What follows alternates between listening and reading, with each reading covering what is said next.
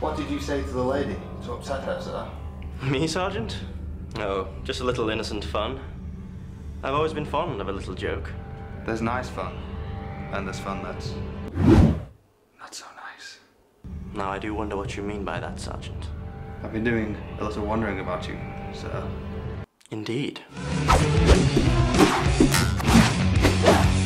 I've been wondering about that car of yours and how it managed to overturn in a snowdrift so conveniently. Inconveniently. You mean, don't you, Sergeant? That rather depends on the way you look at it.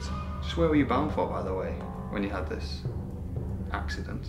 Oh, I was on the way to see a friend. In this neighborhood? Not so very far from here. What was the name and address of this friend? Now, really, Sergeant Trotter. Does that matter now? I mean, it's got nothing to do with this predicament, has it? We really like the fullest information. Now, what was the name of this friend, did you say? I didn't say.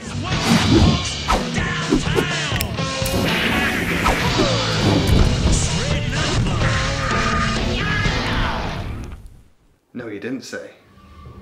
And you're not going to say. Now that's interesting. But there might be so many reasons. And a more discretion.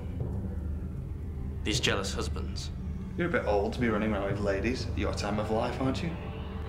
My dear Sergeant, I am not, perhaps, as old as I look. That's what I've been thinking, sir. What? That you may not be as young as you try to look. There are lots of people going around trying to make themselves look younger. So when someone goes around making themselves look older, well, one must ask oneself why. Having asked so many questions of people, you ask questions of yourself now? Do you not think that's overdoing things?